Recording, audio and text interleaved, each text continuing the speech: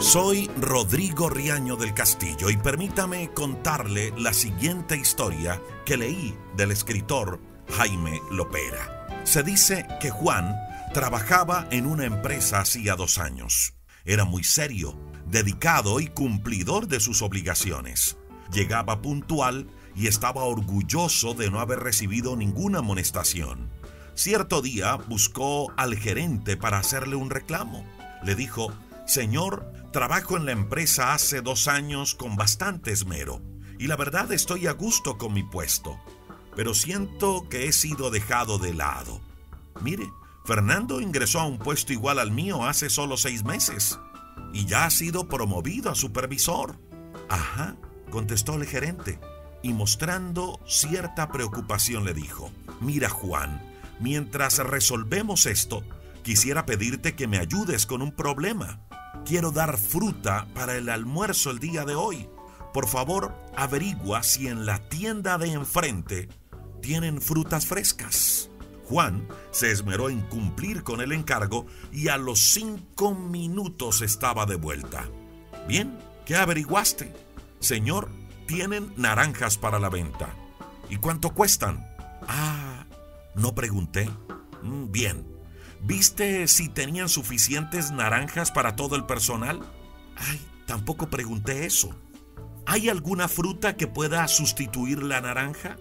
La verdad, no lo sé, señor, pero creo que... Bueno, bueno, está bien. Siéntate un momento, le dijo el gerente. El gerente cogió el teléfono e hizo llamar a Fernando, el supervisor.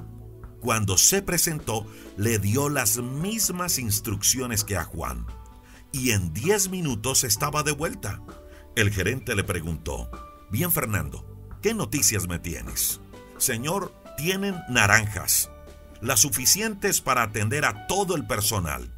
Ah, pero si prefiere también tienen bananos, papayas, melones y mangos. Las naranjas están a mil pesos. El banano a 900 pesos. El mango vale dos mil pesos el kilo. La papaya y el melón está a tres mil pesos el kilo.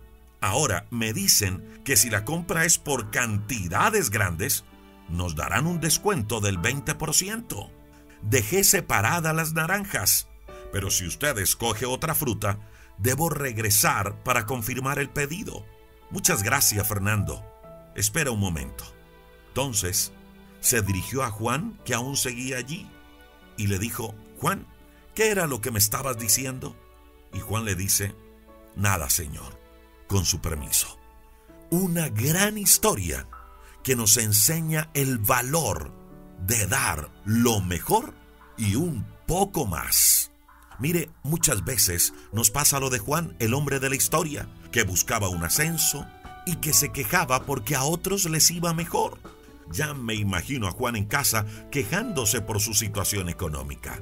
Pero lo que no pudo entender, por lo menos hasta ese día, era que para que le fuera bien, necesitaba tener buena actitud. Y escuche esto, tener buena actitud es dar lo mejor de nosotros. Si usted y yo damos lo mejor y damos un poco más, créalo que las puertas se van a abrir. Permítame compartir una historia y un texto bíblico que nos va a ayudar a sustentar eso, de cómo dar lo mejor de nosotros, cómo dar un poco más abre puertas. Ahora, el detalle es que muchas veces esta historia que le voy a contar y este versículo que le voy a mencionar lo hemos asociado con el dar dinero.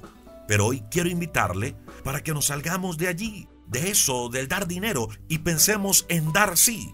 Pero no solo dinero, pensemos en dar lo mejor de nosotros, en dar lo mejor de nuestro talento, lo mejor de nuestra capacidad y lo mejor de nuestra vida en todas las áreas, en el área laboral, en el área familiar y en el área espiritual. Escuche lo que dice Hebreos capítulo 11, verso número 4. Dice que Abel presentó a Dios una ofrenda más aceptable que la de su hermano Caín. Y también añade Hebreos 11:4 que con esa acción Abel demostró que era un hombre justo. Y dice también que Dios aprobó la ofrenda, el acto de Abel. Ahora, ¿cuál era la diferencia entre Caín y Abel? ¿Por qué Dios miró con más agrado el acto de Abel que el acto de Caín? Permítame se lo cuento. Abel era un pastor de ovejas. Caín era un cultivador de la tierra. Ambos llevaron ofrendas a Dios. Hablemoslo así por el contexto de este devocional. Ambos actuaron. De la cosecha, Caín le llevó a Dios del fruto de la tierra y Abel también le llevó a Dios ofrenda. Pero dice la Biblia que Abel se esmeró en escoger lo mejor de sus ovejas. Las que tenía más gordas, las más fuertes, fue las que le llevó a Dios lo mejor de lo que tenía. Mire, ambos actuaron, ambos se presentaron ante Dios, pero a Dios le agradó lo de Abel, mas no lo de Caín. La diferencia es clara, mi amiga y mi amigo. Abel dio lo mejor, Caín solo dio. Abel hizo lo mejor, Caín solo hizo. Muy parecido, guardando las proporciones, a la historia de Juan y Fernando. Mire, Muchas veces le pedimos a Dios que por favor nos ayude en ese sueño, en ese emprendimiento que tenemos. ¿O cuántas veces le pedimos a Dios que por favor toque a alguien para algo en particular? Y mire, Dios quiere abrir esas puertas, Dios quiere bendecirnos, crea eso.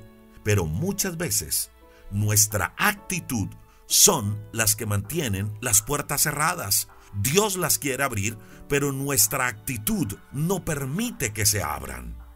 Yo quiero invitarle el día de hoy para que decidamos dar lo mejor de nosotros en casa, en nuestro empleo, en nuestra empresa, en el estudio y en lo más importante, en nuestra relación con Dios. Demos lo mejor y veremos cómo las cosas cambian para bien. Mire, siempre cuando se le encomiende una tarea, un proyecto, cuando decida hacer algo, recuerde lo que dice Colosenses capítulo 3 verso 23. Y todo lo que hagamos, hagámoslo de corazón, como para el Señor y no como para la gente. Le invito para que juntos hagamos una oración a Dios. Señor, te damos muchas gracias por cada persona que se conecta con nosotros en este devocional. Gracias por cada persona que ora.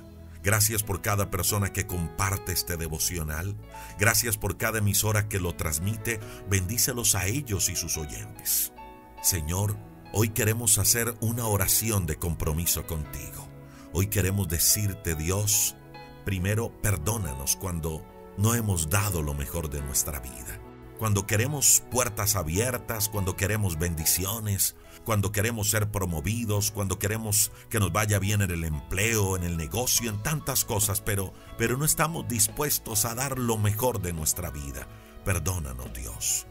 Hoy queremos hacer contigo una oración de compromiso para decirte, Señor, a partir de este momento decidimos dar lo mejor de nuestra vida y dar un poco más en nuestra relación con nuestros hijos, en la relación con nuestra pareja, en la relación de familia, en nuestro negocio, en nuestra vida empresarial, en nuestro emprendimiento, en nuestro empleo, en nuestros sueños y en lo más importante, en nuestra relación contigo.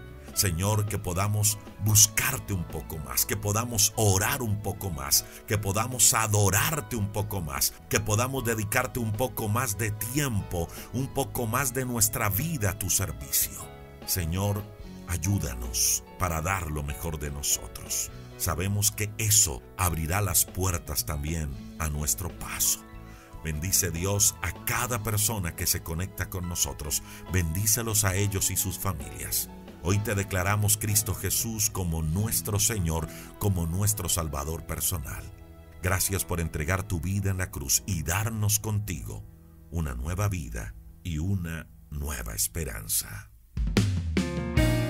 Recuerde, mi amiga y mi amigo, el libro Diario de un Vencedor ya está disponible a través de Amazon.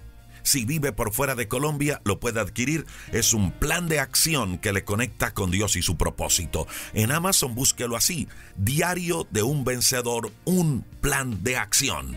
Amazon lo imprime y se lo envía a cualquier lugar del mundo.